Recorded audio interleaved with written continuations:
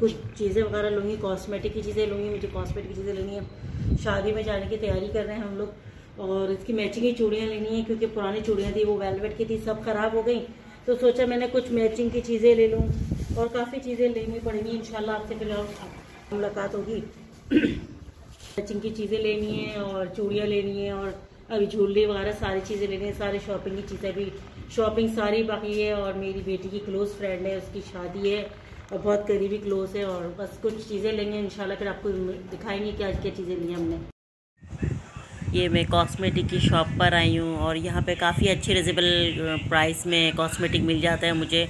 और ये सही भी रहते हैं कॉस्मेटिक और बाकी और शॉप्स में मैं नहीं जाती डायरेक्ट मैं इनकी शॉप्स पे आती हूँ। ये तहाँ तहा कॉस्मेटिक शॉप है ये और ये सेविने में बहुत अच्छी कॉस्मेटिक मिलती है रिजनेबल प्राइस में और ये कुछ प्राइस कर देते हैं, कुछ कमी बेशी कर देते हैं और मुझे कुछ लेने थे, अपने लिए कुछ चीज़ें लेनी थी और बच्चे के लिए। ये मैंने नेल्स वगैरह लिए मैंने और अच्छे प्राइस में मुझे यहाँ से मिले और फिंगर वैक्स लिया है मैंने अपने लिए और बच्ची के लिए कुछ लाइनर और काफ़ी कुछ सामान लिया है और नेल पॉलिश वगैरह मैं लूँगी अभी बाकी चीज़ें।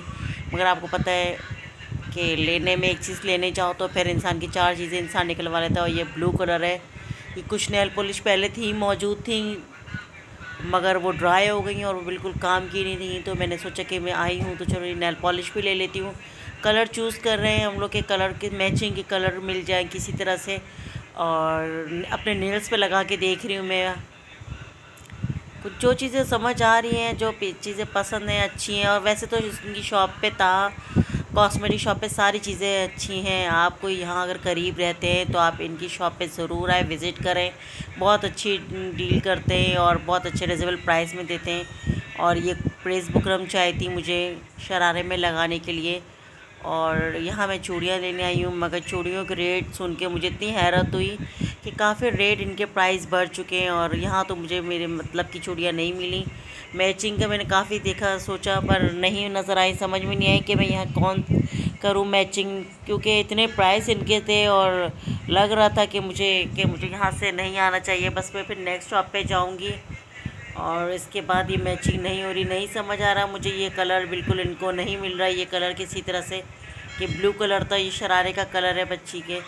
और ये अब, बस हम लोग आगे निकल गए और नेक्स्ट शॉप पर आ गए हम लोग अब इनकी शॉप पे काफ़ी अच्छी चूड़ियाँ मौजूद थी और मुझे सारे कलर्स यहीं से मिल गए। जितने भी मुझे सेट चाहिए थे, मुझे प्राइस अच्छे प्राइस में यहाँ से भी मिल गए। तो हम एक से चार सेट ले लेते हैं तो ये प्राइस भी कुछ कम कर देते मगर इतने भी कम नहीं थे। मगर ये है कि मुझे, चले, इन बच्ची का नाम मिल गया यहाँ पे सब चीज़ें। और ये भाई साहब है इनकी भी यहीं सेवन ए में शॉप है यहाँ पे। और मैं आ गई शॉपिंग करके अब। और मैं आपको बताती हूँ मैंने क्या क्या चीज़ें ली हैं, क्योंकि मैं आपको बता नहीं सकी, ये नेल पॉलिश लिए मैंने, अपने नेल्स पे चेक करी थी मैंने। ये देखें कलर कितना खूबसूरत है। और मैं आपको बताती हूँ कि मैंने क्या क्या चीज़ें ली हैं।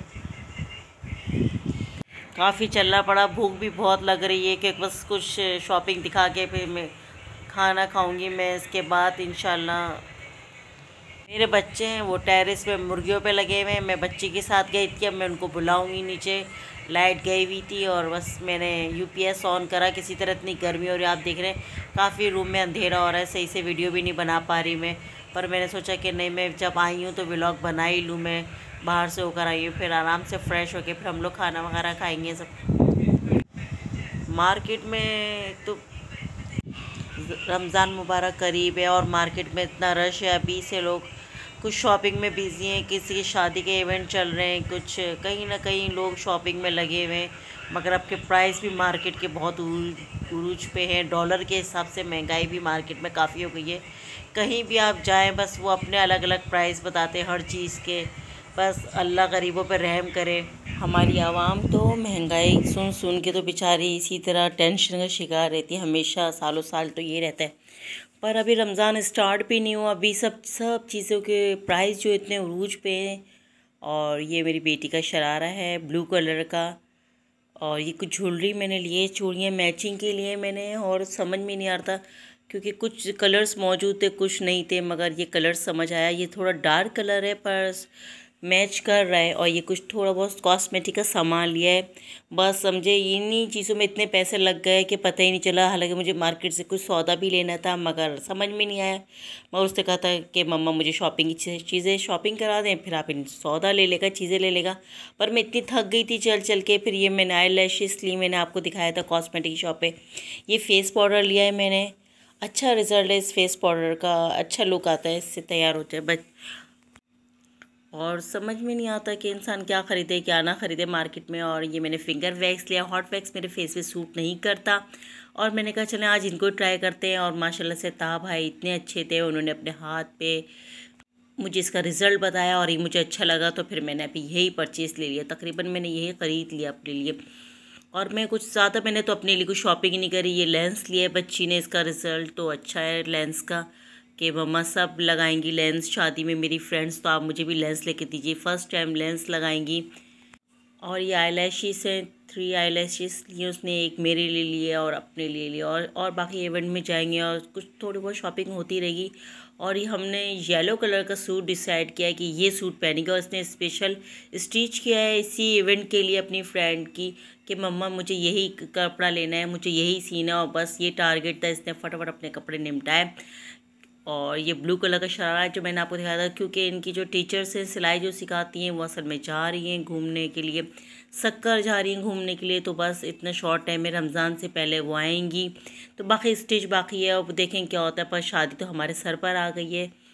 और मैंने आपको पिछले व्लॉग में भी बोला मुझे व्लॉग बनाना नहीं आता पर आप मुझे दुआओं में याद रखें कि मैं कोशिश कर रही हूँ कि मैं सही बोलूँ और सही व्लॉग बनाऊँ आपके लिए। और आप लोग बहुत अच्छे हैं मुझे आप सपोर्ट कर रहे हैं और मुझे इसी तरह सपोर्ट करते रहेगा। मैं आपको लोग के लिए बहुत सारे दिल से दुआ कहूँ मैं आपके लिए बहुत दुआ करती हूँ। और इन फिर नेक्स्ट व्लॉग में मुलाकात होगी। अल्लाह हाफिज़।